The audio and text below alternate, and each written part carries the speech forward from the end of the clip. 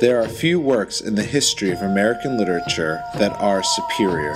You damn McMurphy! A nice rest in a state mental hospital beats a stretch in the pen, right? I want my cigarettes! A battle of wills between nurse and patient lights up the stage in this adaptation by Dale Wasserman. You must follow the rules. Well, I'm not tough. A truly gut and soul wrenching production, with moments of high maniacal comedy interspersed.